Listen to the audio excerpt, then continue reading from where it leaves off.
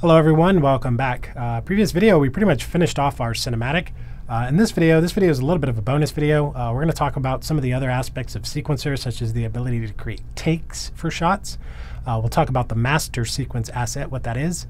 Uh, and then we'll also talk about, uh, under the cinematic section of the modes panel here, the camera rig crane and camera rig rail. We didn't use any of those in our the creation of our existing cinematic, but we'll talk about those. we'll maybe do a crane shot as well. Uh, and then finally, what we'll do is we'll render out our cinematic as an AVI so that we can share that with our family and friends, post it to YouTube, or do whatever we'd like with it. So uh, let's go and continue. Uh, let's see, we have our existing cinematic here. Uh, if I click, make sure that we are locked to that shot track there. Uh, if we continue with our cinematic here, we have uh, all of our shots in place. We fade out perfectly. let's go to shot 07 actually though. This shot here, we're actually going to change this shot. So we're going to go to the start of this shot, which is about there. This is where it cuts over, is about right there. So I'm going to go back to that frame there. And what we'll do is we'll left click, select shot 07, then right click on it. And under the shot section, we have this option called takes, which says we're on take one.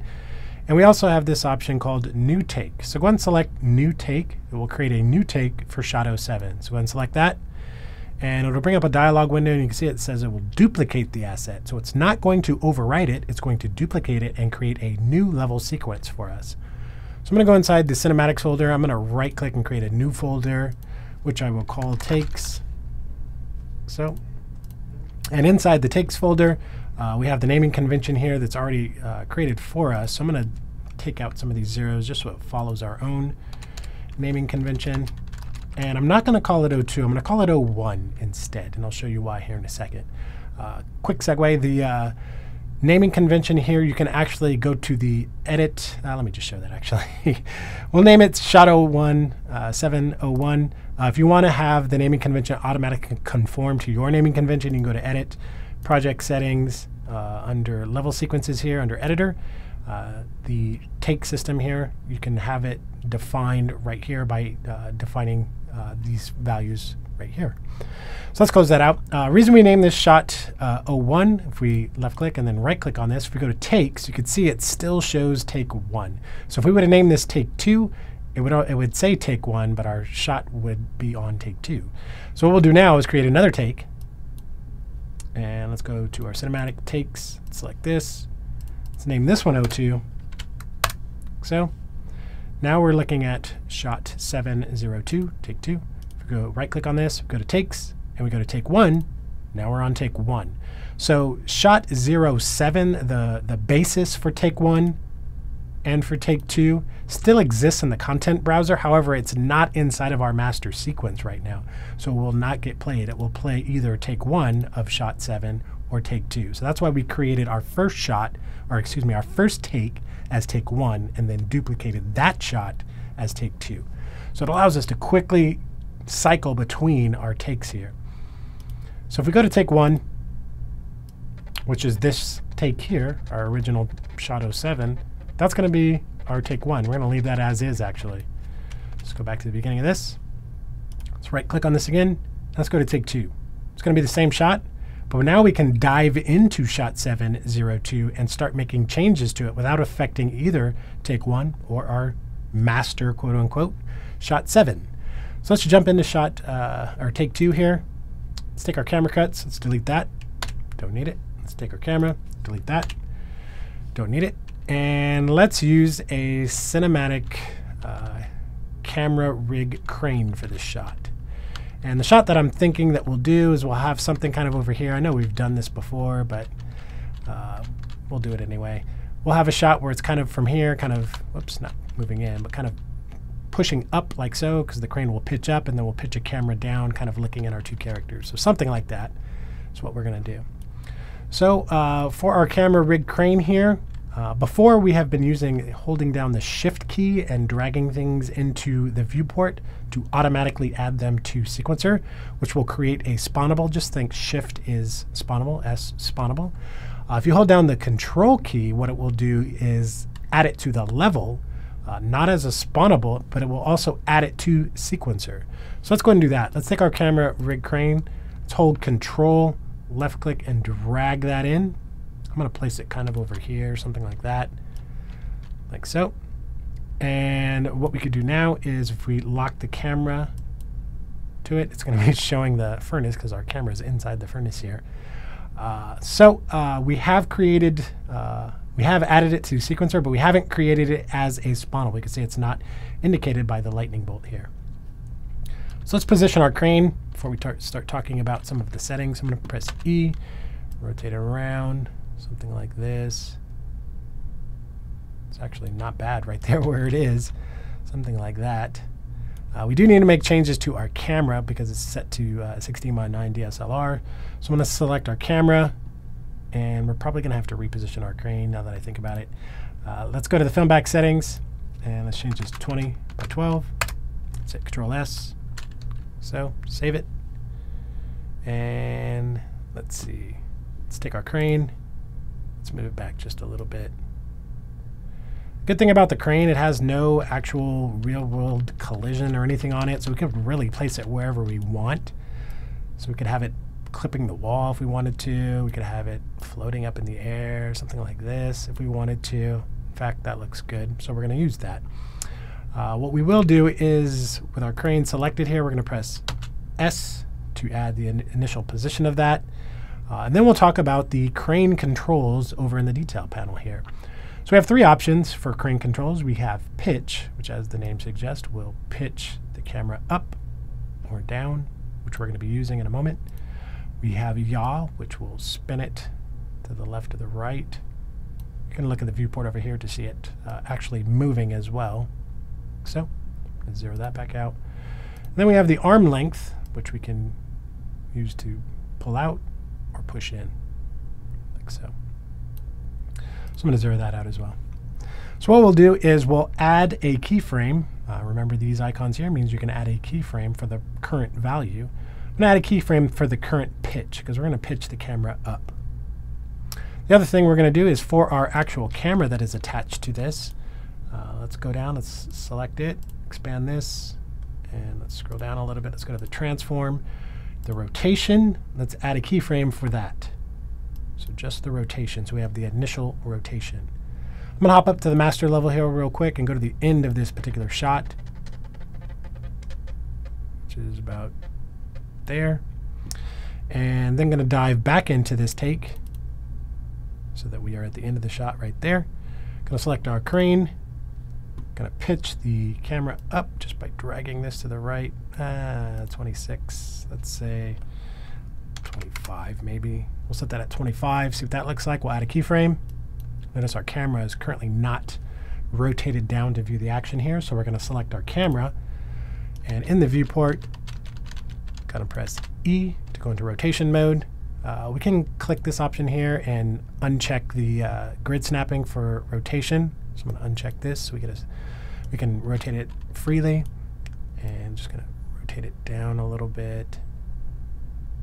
So our bear actually gets shot out of the frame, which is kind of interesting. And once we're happy with the rotation that we want, with our camera still selected, I'm going to hold Shift and press E to keyframe the new rotation position.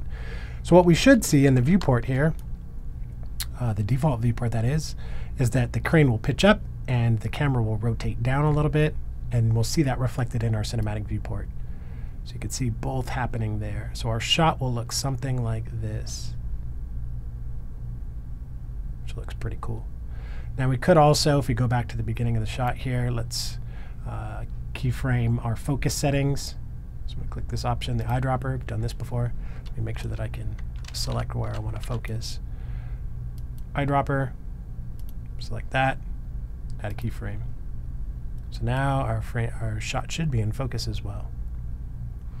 So that looks good. If we hop up to the master level and we go back to uh, right before shot 07. Here's our shot. And what's really cool about this is, uh, if we play it here, say our cinematic director comes by and says, oh, I'm not happy with that shot. I don't really like that shot. Uh, do you have anything else for me? Can, you can quickly say, well, I have this shot here. If I go in and I right click and I go to take one, I can say I have this shot instead. What do you think about this? I can play it and they could see this shot instead. So it's very easy to quickly swap out between different takes with the take system. I think we'll leave that shot in actually. That's kind of cool. So that's the take system, and we also talked about the camera rig crane asset. Uh, the camera rig rail is very similar to the crane. Uh, in fact, I'm going to expand this and just show you this. We're not actually going to do anything with it, but I'll show you how you can use it. You can drag it into the level. Uh, it looks just like you would expect a rail would look. And let me just move it up here. And you can take this point here just by left clicking on it and stretch out the length of your rail. You can then use the transform gizmo to move it around. Uh, with that endpoint selected, you can hold Alt and drag out another copy so that you have more points on your rail so that you can bend it and then you can select this and then be like, oh, let me do this or this. You can take these tangents over here and adjust it like so. So you wanted a shot that kind of went like that, by all means, go for it. Uh, there's no camera currently attached to this, so you would have to drag a camera in and then drag the camera on top of the rail in the uh, world outliner here to attach it. Uh, or you can do uh, the shift or control method of dragging in an asset, which will automatically add it to sequencer, add the camera cuts, add the camera, do all that good stuff for us as well. Uh, there's only one property you really need to worry about uh, inside the uh, details panel for the camera rig rail, and that's this current position on rail. Uh, it ranges between 0 and 1.0. 0 should be the start, and 1.0 should be the end.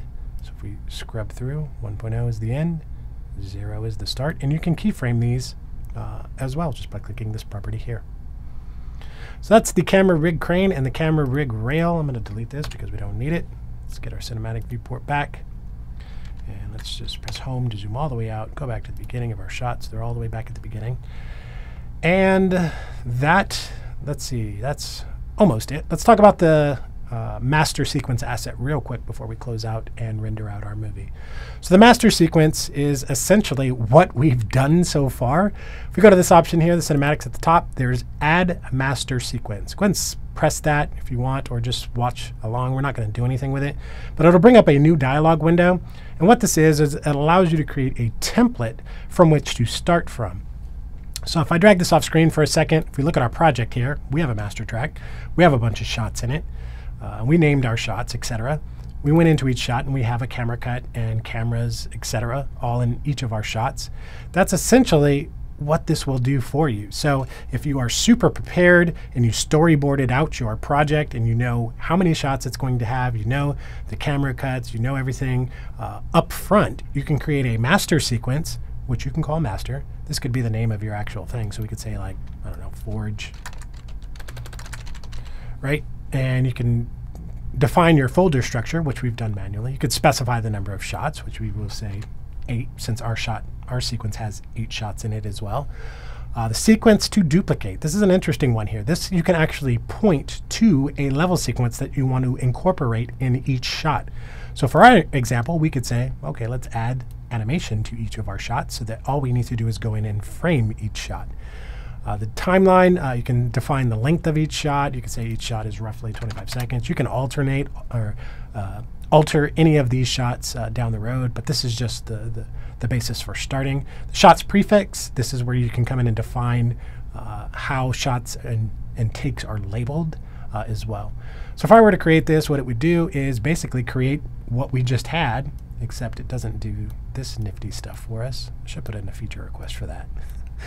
so you can see where all the, the breaks are. And you can see it cuts through everything. There's the animation playing in the background for us too. It's playing over and over again uh, because there was one thing that we did inside the sub scene uh, that's preventing it from starting from the beginning. Uh, you can see when we go into each shot, a camera has already camera cuts has already been created. Cameras have been added, uh, but it also includes a playrate track, the enemy bear, the particle effect, and the uh, master grunt, which is all part of our animation. So it includes uh, all of this stuff here because this is the level sequence that we pointed to to show. So it has these four tracks. So if we were to go back uh, to that example, it includes those four tracks as well as the camera cuts and a new camera. Uh, if we go, let's see, if we go to, uh, let's see, cinematics, this here, uh, reason it didn't start from zero is because we've added uh, the start position a little bit uh, later than zero. So if we were to start it from zero, then it would start from zero in our sequence as well. And you can see that by the master cut animation here. If we were to go back to the beginning and then just hit that, it would start from the beginning. Uh, but we don't want to do that because we're going to render out our movie. So uh, that's the last thing that we're going to do. Uh, let's go and let's open the master, get back to that, make sure everything is good before we render it out. It's looking good. All right, uh, let's render out our movie and let's finish out this series. Uh, we can do that by clicking this option here, render this movie to a video. Click this. It's going to give you a dialog box where you can specify capture settings, frame rate, etc. You can leave this all as default. You can change the output directory if you'd like. I'm going to change mine to the desktop just so I know where it is. And once you click capture movie, it will go through the process of capturing and rendering out the movie.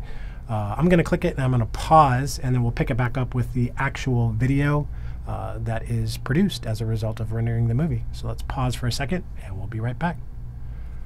All right, my video has finished rendering out in the background here. One of the things I forgot to mention before we uh, started the rendering process is that uh, if you are viewing your video and wondering why you don't have audio, uh, Sequencer currently does not render out videos with audio. It's on our list of things to do, uh, which will get addressed here uh, hopefully very soon. Uh, but it's on our radar. It's something that we're still currently working on. So my video rendered out in the background here. Here it is, our final cinematic. Uh, that's actually gonna do it for this video series. Hope you guys enjoyed it. We looked at Sequencer and talked about shots and takes. We talked about animating characters. We've done all of that. We've animated cameras and adjusted camera settings. Uh, we also talked about master sequences, play rates, audio. Did quite a bit. Uh, hopefully you guys enjoyed it and learned uh, learned the ins and outs of Sequencer. That's going to do it for this video series. Thank you guys so much for watching, and we'll catch you next time. 嗯